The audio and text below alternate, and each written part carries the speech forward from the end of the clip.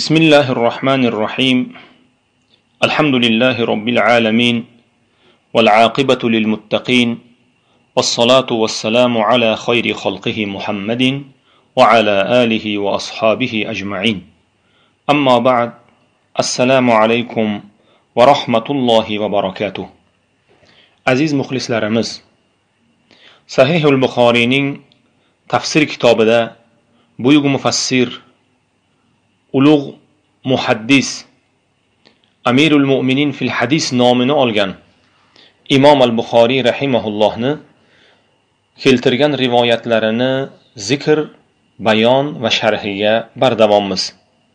Bu kitob orqali imom buxoriyning tafsir faniga qo'shgan hissalari qur'on ma'nolarini anglatish uchun qilgan sayu harakatlari hamda bu rivoyatlardan olinajak ibratlar amal qilish yo'llarini inshaalloh birgalikda ko'rib o'tamiz va u zotning keltirgan rivoyatlari va bu rivoyatlar orqali bergan fatvolariga to'xtalib o'tamiz.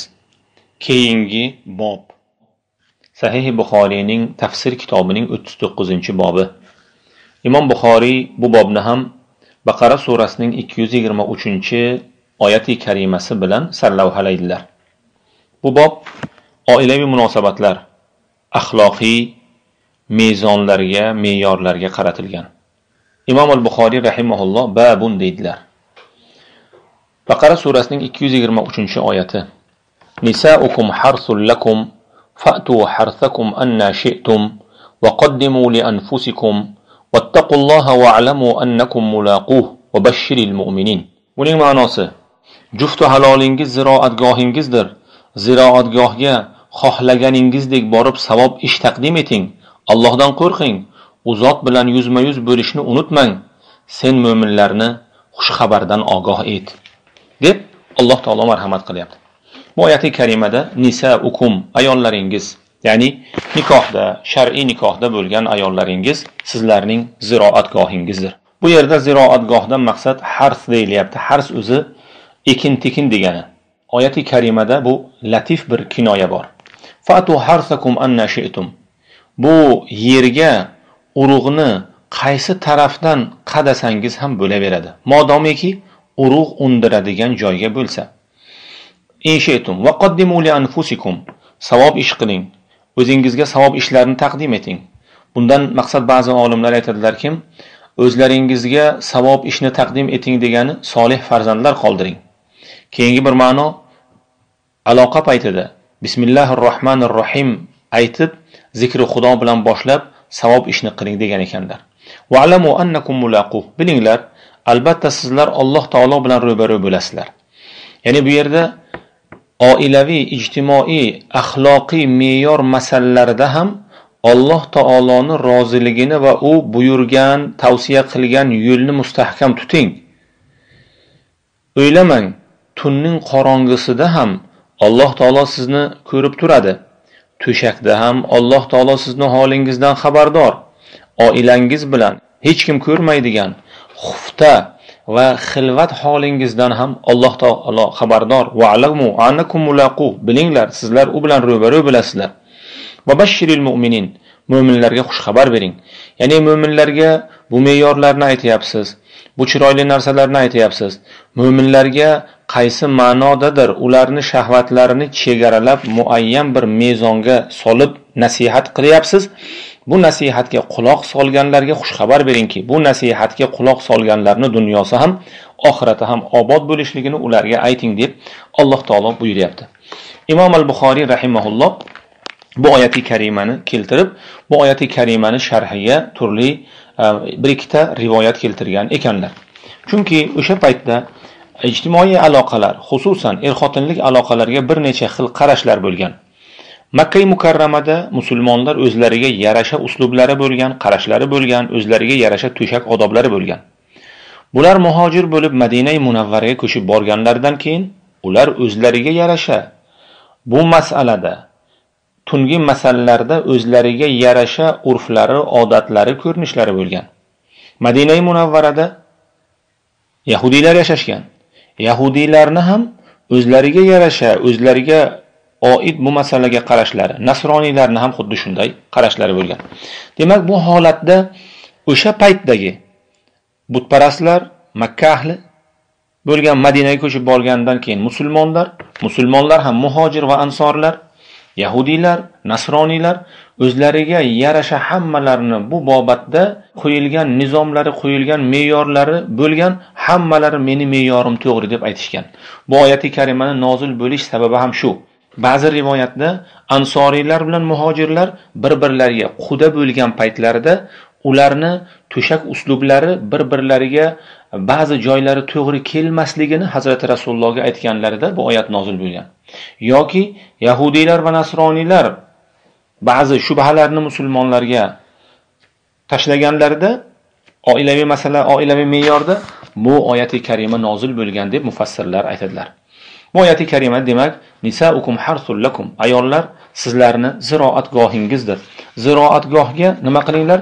O'zlaringiz istagan tarafdan ekinlarni qadanglar deb alloh subhanahu va taolo bizlarga marhamat qiladi. Bu oyati karimada turli masalalar borki mana shu masalalardan hammamiz bahramand bo'lishligimiz kerak. Birinchisi bu oyati karimada harf deyilyapti. Harf ziroatgoh. Ya'ni oilaviy munosabatlar faqat farzand unadigan farzand chiqadigan yo'ldan bo'lishligi kerak. Ammo boshqa yo'ldan bo'lishligi harom. Ibn huzayma rahimahulloh sahihlarida payg'ambar alayhissalotu vassalomdan rivoyat qilgan hadisda innalloha la yastahi minal haq va la ta'tun nisaa fi adbarihinna. Alloh haqni bayon qilishdan hargiz uyalmaydi. Ayollarga yana lut qavmini ishini qilmanglar. Ayollaringizga nisbatan yana lut qavmini ishini qilmanglar. Payg'ambar alayhissalotu vassalomdan amr ibn shuayb rivoyat qilgan hadisda payg'ambar alayhissalom aytadilar hiya liwatatu sug'ro ya'ni vat'un nisa'i fi adbarihin. Imom tahoviy sahih san'at bilan rivoyat qilgan hadisda ayollarga farzand unadigan emas boshqa yo'ldan aloqa qilishlik u lut qavmining ishidir. Ayollarga lut qavmini ishini qilmanglar. Payg'ambar alayhissalotu vassalomdan abu hurayra rivoyat qilgan hadisda buni tayolisiy va bayhaqiy rivoyat qiladilar ibn abi shayba ibn moja va imom ahmad rivoyat qilgan hadisda la yandurullohu azza va jal ila rajulin wati'a imra'atan fi duburiha ayolga orqasidan yaqinlik qilgan erkakka Alloh hargiz rahmat va marhamat nazari bilan qaramas deb Hazrati payg'ambar alayhissalotu vassalom muborak hadislarida aytadilar.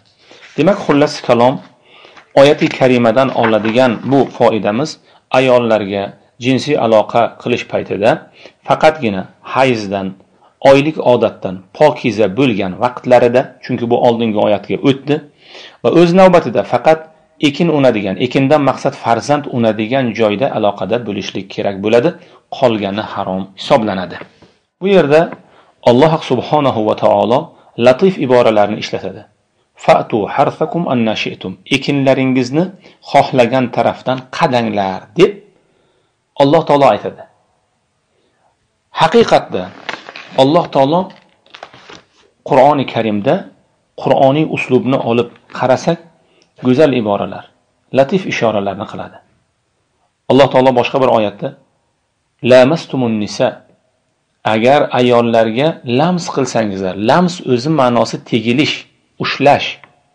Lekin bu yerdagi asl ko'zga tutilgan ma'no qovushish boshqa bir oyatda g'oit deydi alloh taolo. G'oitning ma'nosi chekka uzoqroq. Birovingiz chekka joydan kelsa lekin bu yerga nazarga tutilgan narsa hojatxona. Innalloha yukanni ma sha'a bima sha'a. Alloh taolo xohlaganini xohlagan narsasi bilan kinoya keltiradi. Imom nasafiy rahimahullohu taolo aytadilar. فأتوا حرثكم أن شئتم من الكنايات اللطيفة والتعريضات المستحسنة فعلى كل مسلم أن يتأدب بها ويتكلف مثلها في المحاورات والمكاتبات فأتوا حرثكم أن شئتم dedilar. Ya'ni urug'laringizni ziroatgohga qadanglar. Bu latif kinoyadir go'zal bir kinoyadir.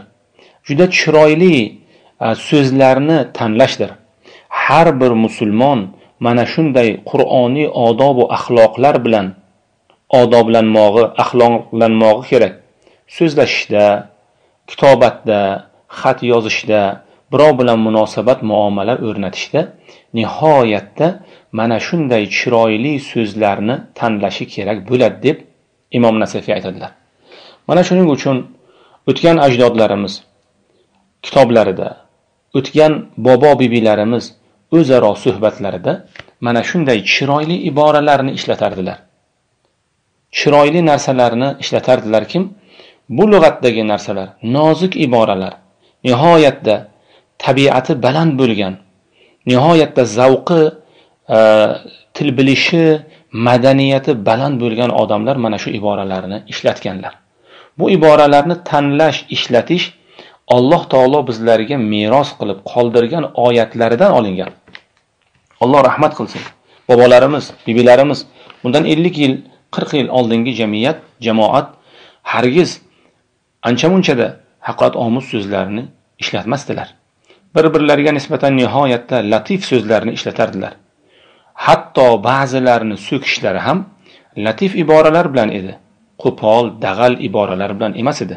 Hazrati payg'ambar alayhissalotu vassalom birinchi ilohiy odoblar bilan oyatlardagi bu axloqlar bilan axloqlangan payg'ambar alayhissalotu vassalom lam yakun fahishan va la mutafahishan. Payg'ambar alayhissalotu vassalom qo'pol dag'al yomon so'zlarni aytguvchi zot emas edilar. Imom buxoriy rahimaulloh bu oyatni keltiradilar buni sarlavha qiladilar va hammamizga oilaviy axloq mezon me'yorlarini bildiradilar va bu oyatdan keyin quyidagi hadislarni rivoyat qiladilar. Kelgusi suhbatda bu hadislarga inshaalloh to'xtalib o'tamiz.